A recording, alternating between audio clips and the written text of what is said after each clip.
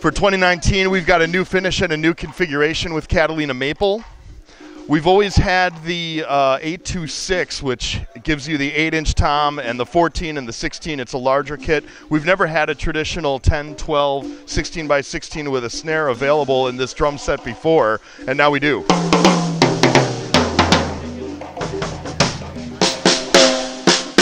That great Catalina Maple sound. And this is a new finish for this year. This is called Black Stardust. It's basically a black sparkle.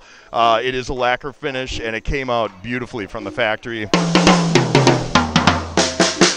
And the drum sound absolutely incredible. So new finish and new configuration this year in Catalina Maple, and that's your basic seven ply uh, maple shell with the 30 degree bearing edge. The Gretsch formula is is in play on.